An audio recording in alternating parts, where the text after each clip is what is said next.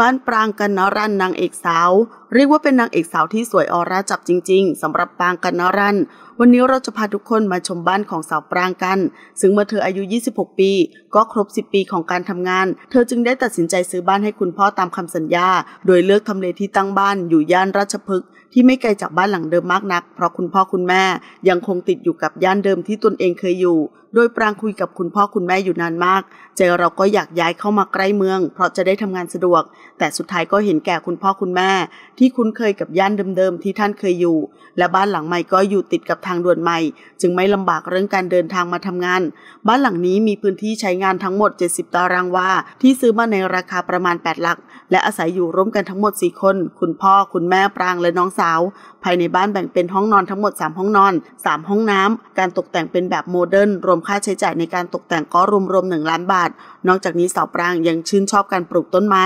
ดอกไม้ในบริเวณโดยรอบของตัวบ้านทำให้บ้านดูร่มรื่นน่าอยู่ขึ้นไปอีก แถมยังเป็นสถานที่ไว้ให้เธอถ่ายรูรูปเล่นอีกด้วย ขอขอบคุณข้อมูลจากขอบข่าวขอบคุณค่ะ